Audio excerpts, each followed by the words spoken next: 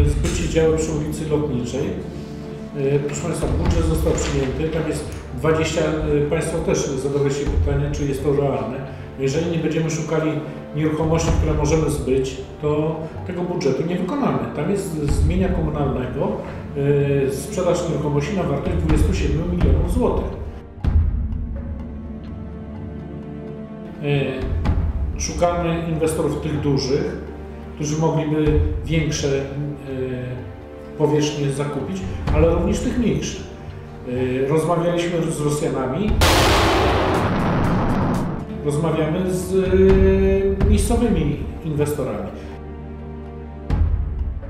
Część z nich jest zainteresowana na przykład jednym obiektem na, na tej. Te, te, przypominam, że tam jest 19 hektarów, czyli 19 tysięcy, y, 190 tysięcy, bo jeden hektar to jest 10 tysięcy metrów kwadratowych. 190 tysięcy metrów kwadratowych powierzchni i ilość tych obiektów. Wartość tu ma bardzo dużą, bo przecież sam WAM wyceniał to na 12 milionów złotych. Jeżeli nie ma w tej chwili takich dużych inwestorów, którzy są w stanie całość zakupić, czy większość, to szukamy również rozwiązań na te mniejsze projekty, które też tworzą miejsca pracy.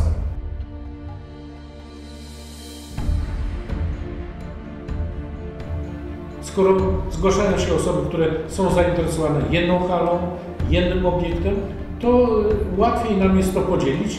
My płacimy tylko za podziały geodezyjne, zresztą tutaj przy współpracy y, z naszymi y, zaprzyjaźnionymi firmami dzielimy te nieruchomości na mniejsze po to, żeby oferować różnorodną ofertę, mieć szerszy pakiet TNT i w całości, i w częściach, jak to będzie gotowe przystąpić, to żeby to było przygotowane.